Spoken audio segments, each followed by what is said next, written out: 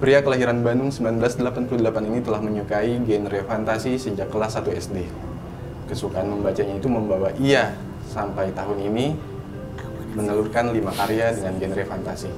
Novel terbarunya berjudul Winter Flame dan kita akan ngobrol langsung dengan penulisnya Fahrul Rang. Halo Mas Fahrul. Ya, halo.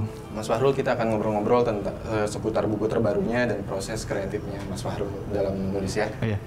Em, awal nulisnya emang udah seneng fantasi atau gimana? Eh, saya memang sebagai penulis saya cenderung nulis cerita fantasi sih sejak Hmm. awal itu.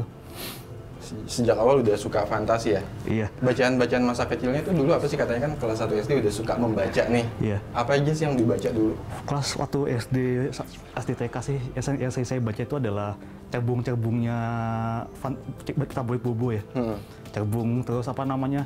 cerpen atau dongengnya. Itu soalnya waktu zaman dulu kayaknya susah nemuin novel fantasi. Jadi Iya. outlet saya ya cerpen sama cerbungnya di bobo itu. Jadi sumber-sumber bacaan Mas Fahrul ya dari cerbung-cerbung yang ada di majalah Bobo gitu ya. Yang akarnya iya. Oke. Eh, sebenarnya Mas Fahrul ini eh, lahir dari keluarga yang seperti apa? Entah orang tuanya suka menulis, entah orang tuanya suka membaca atau punya koleksi buku fantasi. Sebenarnya sih orang tua saya nggak terlalu suka me- membaca sih ya. Hmm. Jadi bapak itu kan tentara. Tentara? Kalau- Iya, i- ibu ibu rumah tangga. Dua-duanya sebenarnya nggak terlalu nggak terlalu suka menulis dan membaca. Oke. Tapi mereka sangat mendukung niat saya jadi penulis. Jadi dari awal jadi jadi awal saya nulis kelas 1 SD sampai sekarang itu mereka ngasih apa namanya ngasih fasilitas kayak ngasih komputer, ngasih kata semangat. Jadi ya, gitu ya? iya. Oke. Em, kalau misalkan kita ngobrol-ngobrol masalah buku barunya ini Winter Flame. Iya. Bercerita tentang apa mulai Mas Fahrul ini? Intinya ini adalah seorang pemuda bernama Riz. Dia ini adalah seorang pencuri di kota, kot- di kota penuh kriminal bernama Porzar. Hmm. Suatu hari dia kan berusaha menyelamatkan apa namanya? Menyelamatkan se- sekumpulan orang yang ingin dijadikan budak untuk dikirim ke, penam- ke tambang. Hmm. Dari dari ternyata dia menyelamatkan ini, ujung-ujungnya dia justru terlibat dalam konspirasi negaranya. Oke. Dia berhubungan sama masa lalu yang kelam. Oke. Nah, latar belakang dari novel fantasi kebanyakan kan novel fantasi eh, latar belakangnya bukan negara asli atau misalkan ngambil daerah Indonesia atau negara lain ya. Iya. Kalau Mas Fahrul sendiri latar belakangnya apa ini? Apa yang latar belakang? Eh, latar belakang tempat dari novel Winter Flame ini. Latar belakangnya adalah dunia Vandalia. Mm-mm. Jadi du- dunia yang dikembangkan sebagai satu semesta sendiri. Lebih tepatnya kita berada di, di dunia Akro, negara negara Orteva.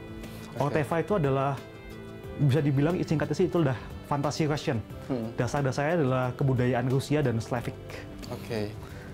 Itu Mas Fahrul sendiri yang menciptakan Oh. latarnya atau Enggak, kita saya menciptakan bersama-sama tim Vandalia dan Arton Code. Oke, menciptakan setting sendiri ya dan kemudian eh, latar belakang itu di, dimunculkan kisah-kisah ke, ke dalam latar itu ya. Benar, kita bangun latarnya, Hmm. kita bangun sejarahnya, baru habis latar siap, kita tuangkan cerita ke dalam situ. Oke. Novel fantasi kan eh, terkenal dengan makhluk-makhluk asingnya. Iya. Nggak cuman manusia aja, tapi lebih banyak makhluk-makhluk di luar manusia gitu ya. Iya. Kalau di novel Mas Farul sendiri ada ada makhluk ajaib apa aja sih? Ada beberapa. Ya, kita saya sebutkan yang apa namanya yang major saja ya. Oke. Jadi yang pertama ada famous. Hmm. Famous ini adalah kaum penyihir. Beda sama manusia, mereka apa namanya? Mereka tuh usianya panjang. Sangat pan- sa- saking panjangnya waktu mereka dilahir waktu mereka dilahirkan, mereka tuh masih waktu dilahirkan keluar dari rahim ibunya, mereka tuh masih fetus. Fetus. Jadi mereka membutuhkan inkubasi ekstra lagi 17 tahun di dalam sebuah kepompong khusus. Waktu keluar, mereka bisa menggunakan sihir. Wow. Itu itu salah satu makhluk yang ada di dalam buku Winter Iya. Flame ini ya? Iya. Itu diciptakan sendiri oleh Mas Farul. Oh enggak, itu kalau famous sudah ada sejak pertama kali di dicetuskan sama konseptor Vandaria. Oh, jadi semuanya udah ada latar belakangnya, tokoh-tokohnya sebenarnya udah ada gitu ya. Rasnya sudah ada sebagai Rasnya besar. sudah ada ya? Tapi akhirnya dikembangkan sama saya sama tim Vandaria sekarang. Sebagai penulis berarti mengembangkan ceritanya, alurnya gitu ya. Iya. Tapi kalau ide ceritanya sendiri Mas Farul dari mana sih datangnya? Ide cerita yang khusus buat Winter Flame atau buat yang Untuk lain? yang Winter Flame? Untuk Winter Flame saya dasarnya pada dari berbagai buku sama film yang saya baca ya. Hmm. Kayak kalau abis saya baca lagi, kayaknya yang tanpa sadar mendasari saya itu adalah cerita Lion King. Oke. Hmm. Hmm. Tentang seorang apa namanya? Seorang apa namanya? Seorang Lion King. so, sorry ya, seorang pa- pangeran, pangeran. Se- seorang king yang apa namanya? Akhirnya kembali ke itunya. Ke tempat asalnya. ya? Bukan benar-benar king sih, tapi intinya sih kayak gitu. Oke. seseorang kembali ke tempat asalnya untuk menyelesaikan masalahnya yang ditinggalkan dulu. Oke, inspirasinya datang dari situ ya? Saya tidak langsung, soalnya waktu saya juga saya nggak sadar saya dari situ ngambilnya. Oh, ternyata banyak pokoknya sumbernya ya. Iya. Tapi proses menulisnya sendiri udah memakan waktu berapa lama untuk Winter Flame? Saya nggak ngitung ya, tapi pokoknya pertama kali saya selesai ini sekitar November 2013. Oke. Itu se- terus akhirnya kemarin rilisnya di November 2014, jadi setahun lah prosesnya. Setahun prosesnya. Hah? Apa sih kendala-kendala yang dihadapi oleh Mas Fahrul dalam menyelesaikan Winter Flame ini? Oh, waktu kendalanya sih biasanya adalah apa namanya? Waktu pertama-tama kita tuh ada mengalami sedikit gejolak di dalam tim Vandaria. Hmm. Jadi kita memasukkan orang-orang baru. Akhirnya apa namanya? Orang-orang baru menerapkan visi visi yang, yang baru buat cerita yang waktu udah jadi draftnya. Waktu itu udah jadi draftnya, tapi dikembangkan lagi sama tim ini. Oke. Jadi ya lumayan. Akhirnya Winter Flame-nya jadi apa namanya? Pemenang best local fiction di penghargaan pen, peng- penghargaan PNFI Indonesia. Di tahun berapa itu? Tahun ini tahun lalu 2012. 2014 ya? Desember 2012. Oke.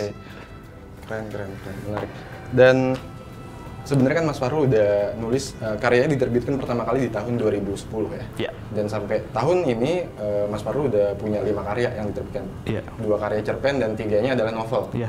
Menurut Mas Fahrul sendiri kenapa sih apa sih yang bisa menjadikan Mas Mas Fahrul ini sebagai seorang penulis novel fantasi? Saya sangat suka apa namanya membuat dunia itu dari awal, benar-benar dari awal. Jadi landmassnya tuh kita saya bikin sendiri seperti apa, sejarahnya saya yang susun sendiri seperti apa. Itu sensasinya agak beda dari kalau misalnya kita menggunakan settingnya yang dunia nyata ya. Memang Vandalia itu sudah ada dari dulu juga dunianya, Hmm. tapi banyak banyak daerahnya yang masih kosong, masih belum digarap. Nah itu enak juga nggarap dari situ. Itu kita yang garap ya. Itu itu salah satu kasihkan-kasihkan dalam menulis novel Iya. fantasi ya. Rasanya kayak jadi dewa gitu. Kita bikin manusianya, kita Karena bikin kita menciptakan semuanya ya. Iya. Tapi kan Mas Fahrul sendiri kan eh, berawal dari membaca. Semua penulis pasti berawal dari kesukaan membaca. Harus. Iya. kalau Harus nggak, itu ya. Kalau nggak membaca jadi jelek nulisnya. Jadi jelek dan kita kurang kosakata mungkin. Iya. Nah, Mas Fahrul sendiri apa sih yang dipelajari dari karya-karya eh, novel sejenis? Entah itu karya siapa? Apa yang Mas Fahrul pelajari dari? Pelajari ya. Kalau misalnya saya dari Game of Thrones, Game of Thrones itu fantasi juga. Saya mempelajari soal konflik, soal bagaimana kita menciptakan karakter yang baik, Hmm. Sehingga kalau misalnya kita membunuh karakternya itu, pembaca itu benar-benar terpukul gitu. Game of, Game of Thrones kan ter- ter- terkenal sama kematian karakternya ya. Kematian karakter. Ya. Kalau Lord of the Ring yang buku ya, Hmm. saya benar-benar belajar soal setting. Itu Tolkien benar-benar detail sekali memaparkan dunia di Lord of the Ring, di Hobbit. Sampai-sampai saya benar-benar bisa Membayangkan. membayangkan dunia itu kayak apa. Oke, sampai sampai segitunya. Itu yang bisa dipelajari dari mereka ya sebenarnya. Banyak, dan masih banyak judul lain. Masih banyak masih banyak Iya. judul lain. Iya. Tapi pernah ngerasa stuck nggak sih ketika menulis misalkan di tengah-tengah uh, penulisan Winter Flame ini Hmm. kayak, kayaknya gue nggak bisa lanjut lagi untuk nulis. Pernah ngerasa kayak gitu? Atau lancar-lancar aja? Sekarang saya udah, sekarang sih saya udah jarang. Tapi waktu sebelum ini, kan saya udah lulus dari kelas 1 SD ya. Hmm. Sampai saya itu, apa namanya, saya saya itu kelas semester 2. Oke. rasanya nyelesain buku tuh susah sekali. Jadi selalu berhenti di tengah jalan. Mau alasannya itu biasanya adalah nggak percaya diri, Nggak percaya diri itu nggak itu percaya diri sama ya, nggak percaya diri sama karya ceritanya. kendala utama itu. Iya. Padahal bukunya nggak ditujuin ke siapa-siapa. Hmm. Saya nilai sendiri ini kayak jelek, jadi nggak salah lanjutin. An- Antara itu atau nanti kayaknya nggak terima penerbit nih. Hmm. Pokoknya ujung-ujungnya yang menghambat saya itu adalah kepercayaan diri sendiri. Kepercayaan diri. Dan cara menangannya seperti apa? Dari Mas nah, un- waktu saya akhirnya berhasil nerbitin novel yang cerpen di Fantasy Fiesta 2010 itu, Hmm. akhirnya saya percaya diri. Ah, karya saya bagus kok. Kalau nggak bagus nanti juga bakal dikasih tahu sama yang lain gimana memperbaikinya. Nggak usah lagi malu-malu. Yang- penting saya lanjut aja sampai kayak kelar, terus dirilis aja. Itu punya keyakinan seperti Iya. akhirnya maju lagi ya. Iya. Oke, ini kan Winter Flame adalah novel terbarunya Mas Fahrul. Iya. Ya, dibanding yang lainnya. Apa sih perbedaan mungkin perbedaan yang menurut Mas Fahrul ada di dalam novel ini dibanding novel-novel sebelumnya? Ya berkat bantuan dari tim Vandaria yang baru ya. Hmm. Ini saya bisa menggambarkan settingnya dengan lebih baik daripada sebelumnya. Kalau saya harus akui yang buku pertama dan kedua Vandaria itu, saya agak-agak terburu-buru bikinnya. Nah kalau yang ini saya benar-benar dibimbing gimana cara bikin karakter yang lebih bagus, gimana cara bikin setting yang lebih bagus, dan gimana bikin plotnya lebih matang. Jadi saya isi- eh, saya yakin isinya memang lebih bagus daripada yang sebelumnya. Pokoknya ini lebih matang dari novel-novel Iya. sebelumnya ya. Iya. Oke, tadi kan kita uh, Mas Fahrul bilang bahwa karakter yang baik itu uh, ini ya, maksudnya Yang penting benar-benar bisa mengambil membaca. hati Iya. pembaca ya. Iya. Menurut Mas Fahrul sendiri uh, karakter yang baik uh, khususnya dalam novel fantasi itu seperti apa sih harusnya? Wah, tergantung sama fantasinya jenis apa ya. Oke. Tapi kalau menurut saya pribadi, karakter yang baik itu kalau misalnya waktu dia berhadapan dengan antagonis, Ya. membaca aja nggak mendukung antagonisnya. Jadi meskipun protagonisnya itu sangat sangat sangat punya kelemahan, Hmm. dia bisa, bisa membuat pembaca merasa ter, tertarik untuk mengikuti perjalanan dia sampai akhirnya tujuan ini tercapai. Kalau bisa berhasil, itu berarti tujuannya ter- protagonisnya udah ter- ter- terwujud. Harus ada koneksi antara pembaca dengan karakter yang diciptakan oleh Iya. penulis gitu ya. Caranya ya bisa aja kita kita bisa bikin dia tertimpa kesulitan. Itu itu cara paling gampang sebenarnya. Jadi seorang protagonis digambarkan memiliki memiliki kekurangan dan di dalam sepanjang cerita dia ju- justru harus menghadapi kekurangan itu. Oke. Itu oke. cara yang paling mudah buat membangun simpati ke pembaca. Oke, menarik. Seperti itu ya caranya Iya. ya. Kalau menurut saya. Menurut Mas Farul nih ya, Iya. ini kan selama ini kan selalu menulis uh, genrenya fantasi. Iya. Dua cerpennya pun fantasi ya. Nah, Apa sih, uh, maksudnya ada nggak sih perbedaan uh, menulis novel dengan genre fantasi dengan genre lainnya gitu? hmm. Kenapa harus menulis fantasi aja nggak nggak pernah belok ke genre lain? Saya se- sebenarnya se- belok juga ke genre lain kok. Hmm. Cuma bedanya yang genre lain itu cuma ditulis buat for fun saja. Bu- Untuk for fun ya? Jadi apa namanya buat latihan nulis ini belum ada yang rilis. Oke. Kalau misalnya fantasi sih ya kayaknya karena itu saya udah dari kecilnya terbiasa sama fantasi. Hmm. Jadi bener-bener saya nulis itu fantasi udah serasa di habitat. Oke, Udah udah melekat banget. Udah gitu ya? melekat jadi saya udah tahu apa yang harus dilakukan setelah ini, setelah ini udah apa yang harus dilakukan udah tahu. Saya kan udah saya juga nulis novel apa namanya novel soal remaja, Hmm. novel soal kehidupan atlet. Dan saya kayaknya eh, eh, lebih tersendat kalau nulis gitu, soalnya bukan habitatnya. Oke, karena di otaknya udah ada fantasi, fantasi, Iya, fantasi. saya sudah dibesarkan sama kayak fantasi. Oke. Oke, Mas Farul dan kabarnya uh, Winter Flame ini kan akan dijadikan sebuah game ya. Iya. Itu itu gimana ceritanya sih? Jadi mungkin bukan Winter Flame beneran ya. Heeh. Jadi kita mengambil sudut pandang lain, kita pindahkan settingnya ke pas dunia benua masih sama. Hmm. Benua masih sama, negara masih sama, tapi kita pindahkan ke utara. Kalau Winter Flame ini kan kita fokusnya ke daerah manusia. Kerajaan-kerajaan yang udah berkembang, yang kota-kotanya udah berdiri, yang, sedang, yang sedang jaya atau yang sedang runtuh. Kalau Winter Flame game ini kita alihkan ke daerah-daerah yang udah lama nggak disentuh- sama manusia. Oke. Jadi tempat-tempat yang sudah dihuni sama makhluk yang sudah ada sejak zaman penciptaan. Oke.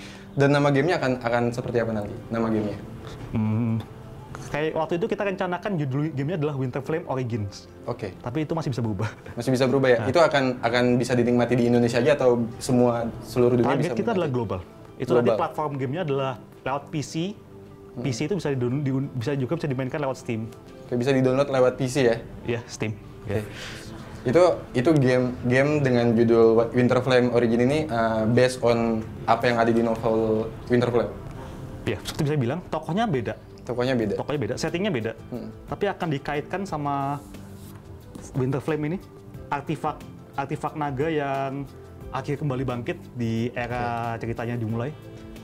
Ini kan Origins dulu ya. Hmm. Itu akan mengisahkan soal awal Pandaria, akan mengisahkan soal awal Winter Flame, dan akan mengisahkan soal awal dari kejadian, kejadian besar yang akan terjadi di dunia Pandaria.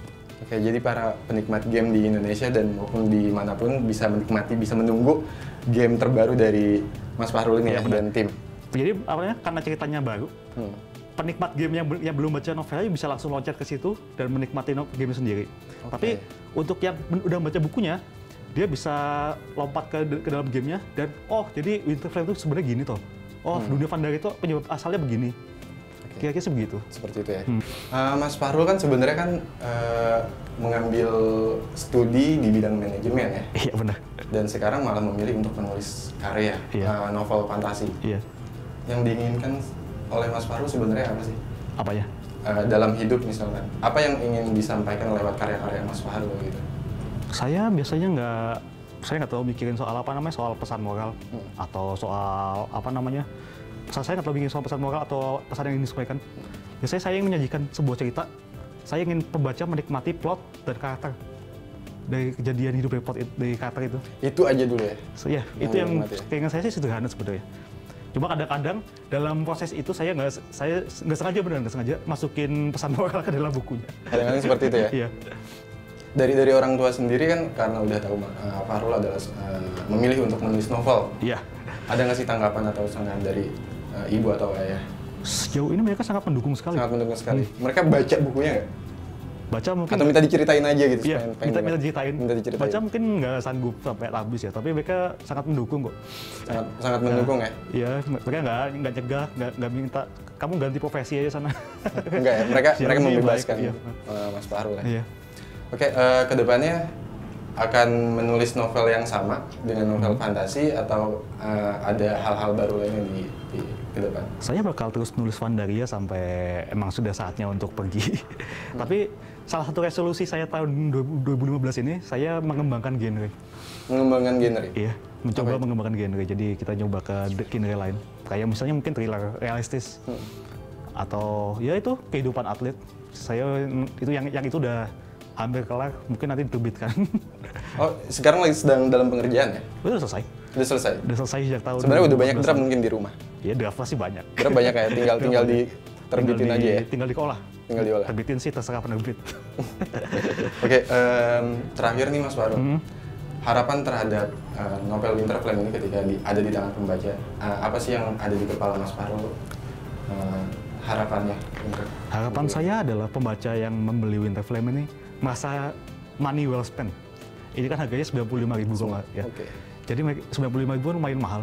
Jadi waktu mereka baca, waktu mereka habis, mereka merasa saya nggak sia-sia. Ini emang bukunya keren. Pokoknya dengan buku tebal ini, Ya. dengan menghabiskan waktu untuk membacanya, pokoknya mereka eh, Iya. Merasa ini buku keren ya. Saya selalu paling takut kalau misalnya saya sudah membuang waktu dan uang pembaca. Jadi saya belum dapat saya, mereka benar-benar puas. sama- Karena ngerasa bersalah mungkin ya. Ya saya juga begitu. Oke, kita doakan eh, dan semoga Winter Flame ini bisa banyak disukai oleh pembaca di Indonesia khususnya ya. Iya. Oke, terima kasih Mas Farul atas obrolannya di Writer Iya. Corner. Ya.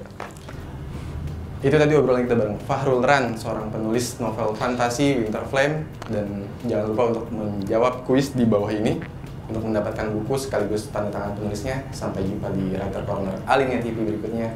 Terima kasih.